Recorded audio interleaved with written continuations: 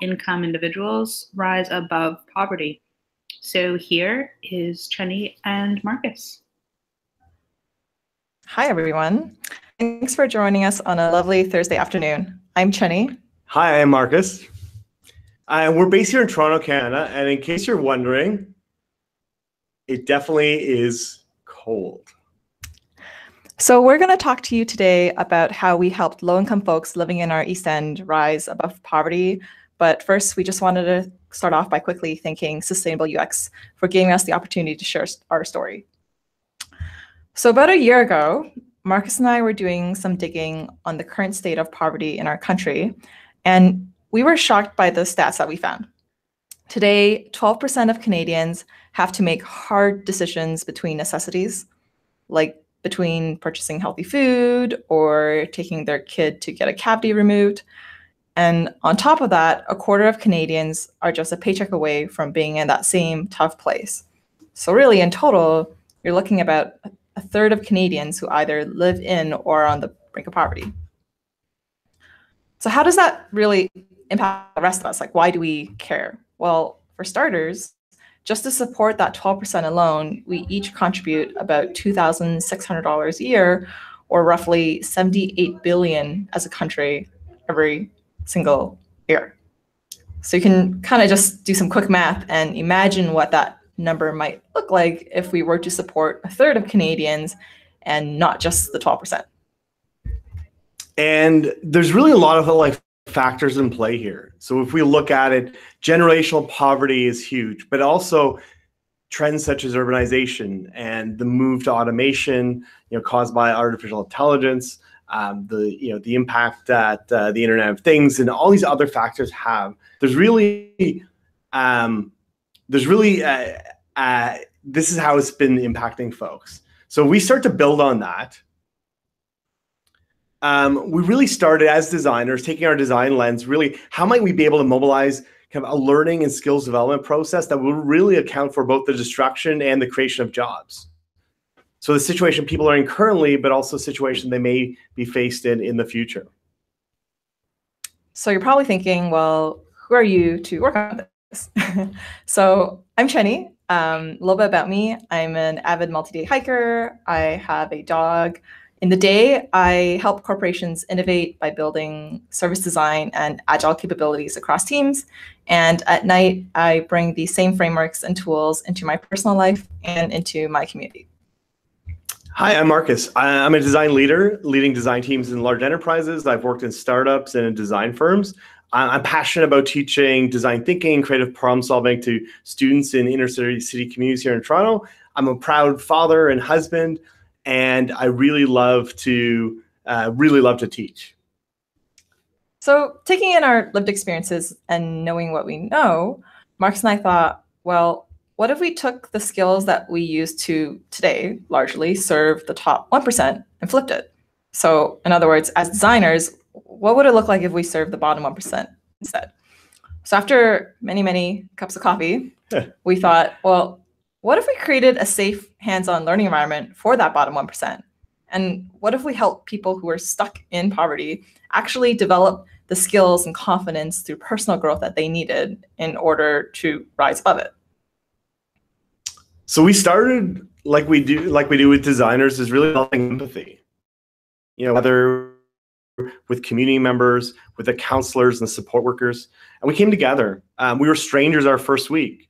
Um, we weren't. We shared our our struggles, our goals for being here, and and then we really we weren't sure where we were headed. But what we realized that many of us um, really had a desire to to start their own business, to to create their own business, and a lot of, a lot of it stemming out of a sense of independence, of not having to work for anyone else, and being uh, their own boss. And that really sparked an idea for us.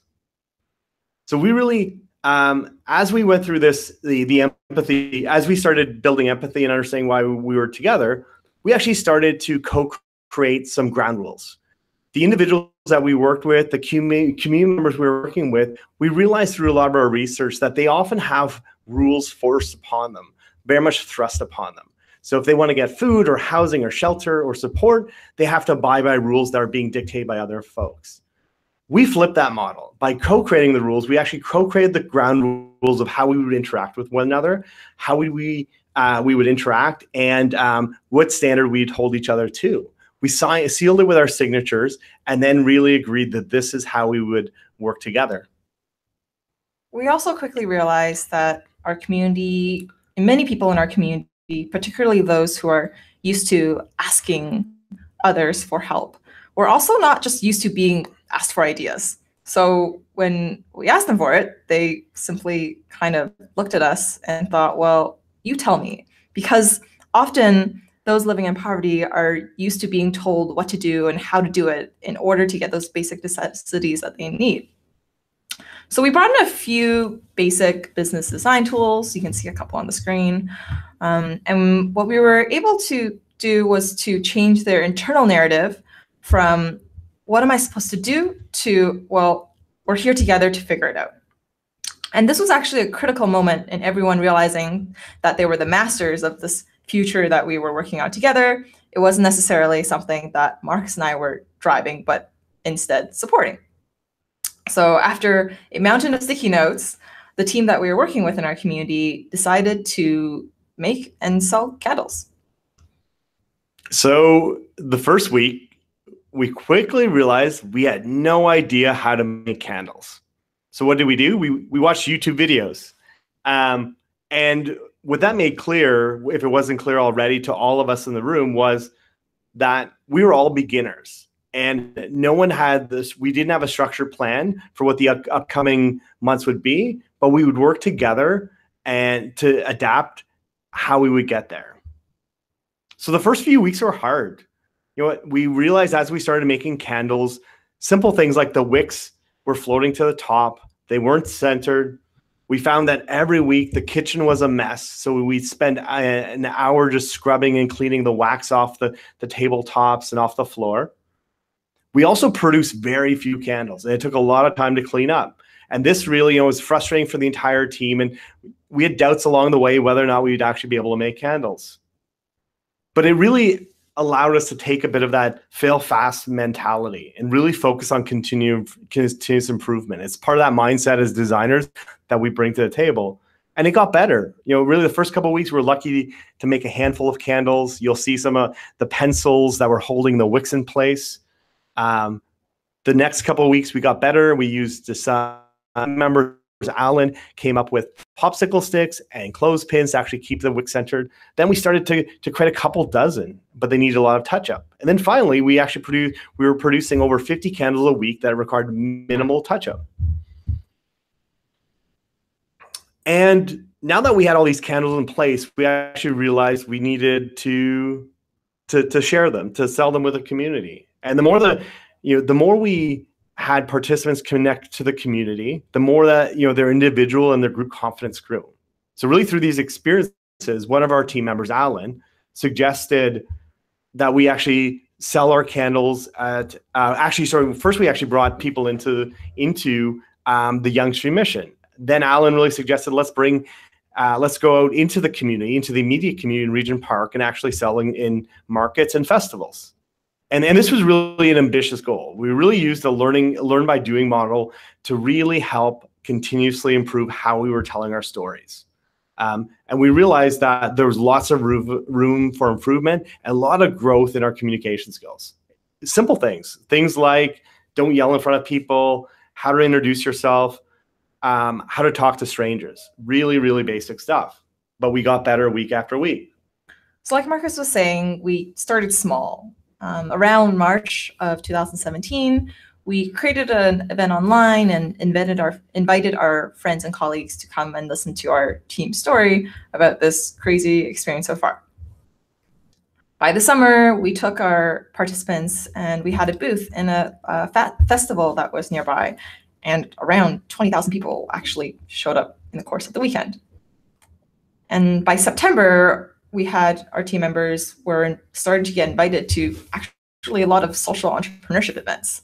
Um, it's interesting because you know often we have a lot of social designers who solve for people in need and people who are homeless, but it was very different to have one of those participants themselves actually speak to the community. And I remember one of our participants um, Sharon actually saying, Chenny, I, I can't believe we're on Wall Street.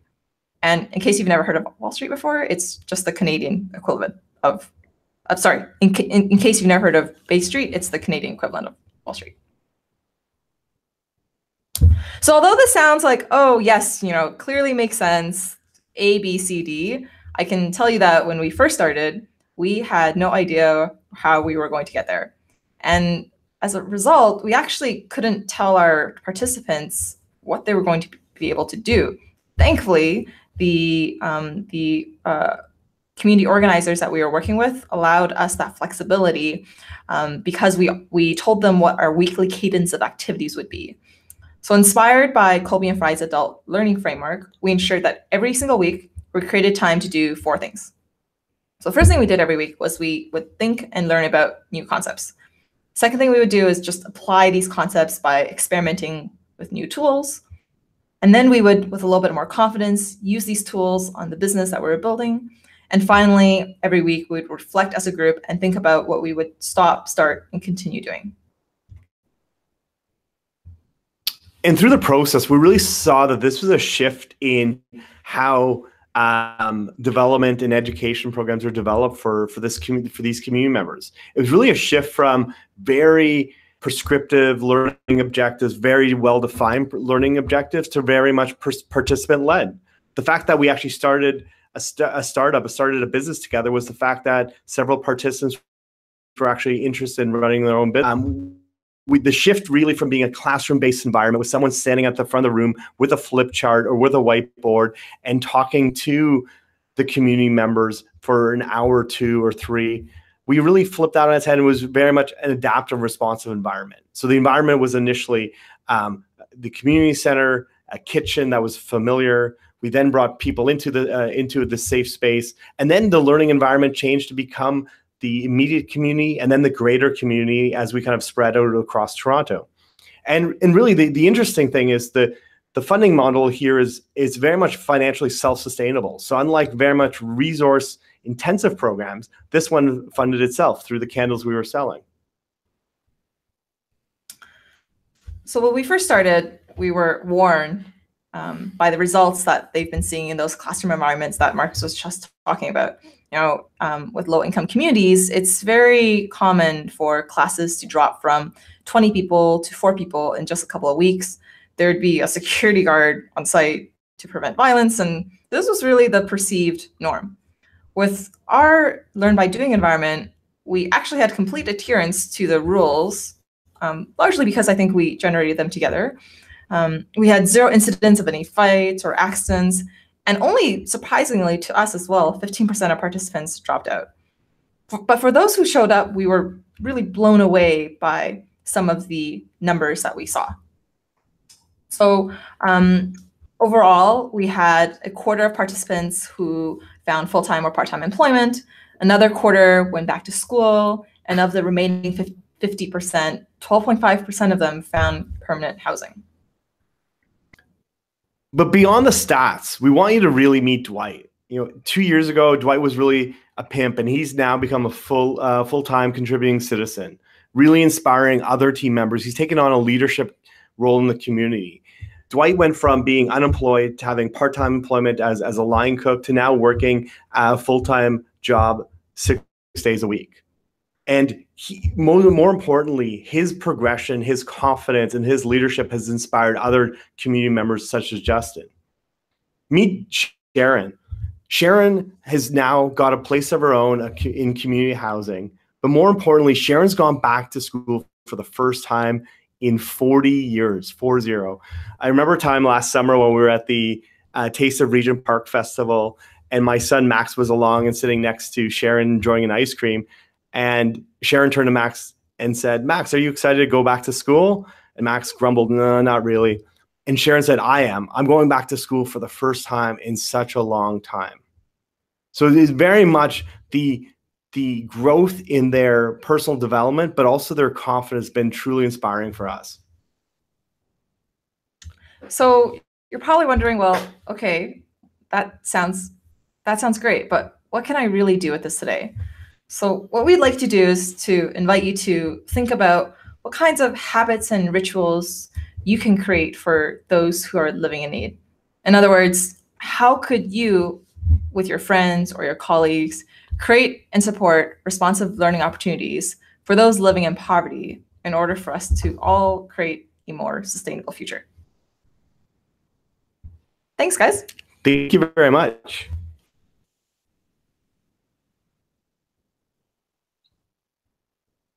Great. Thank you so much, you two. That was a great talk.